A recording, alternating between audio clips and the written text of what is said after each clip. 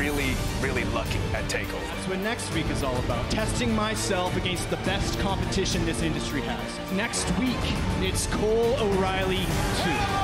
Sunrise! You gotta be kidding me! Last shot! Gentlemen, your match at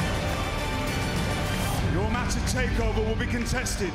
Two out of three falls. You will both pick a stipulation. If the match goes to a third fall, I will pick the stipulation. At TakeOver 36, the first fall, it's gonna be straight up.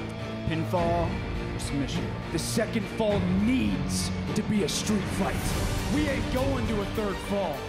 I'm gonna beat you two falls to zero, and I'm gonna be the guy who wins the Adam Cole Kyle O'Reilly saga.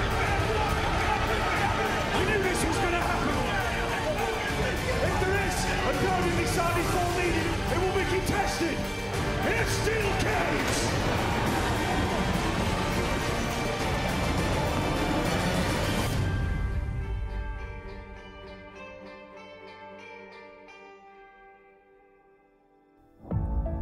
the undisputed finale.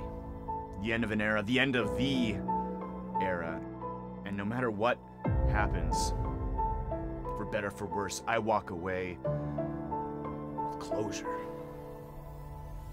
When I think about everything that the Undisputed Era has accomplished, and I think how you have this, this preconceived notion that you somehow were a huge part of that journey, you are kidding yourself, Kyle.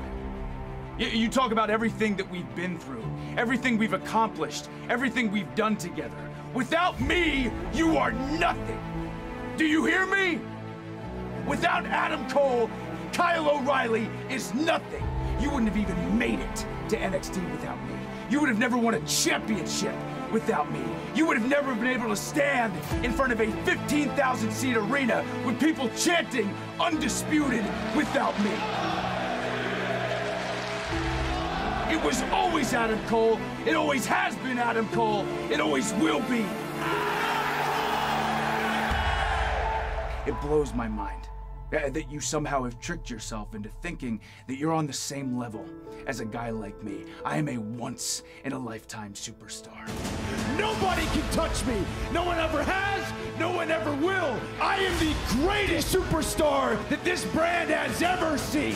I carried you on my back. The entire world knows it. Hell, even your wife knows it.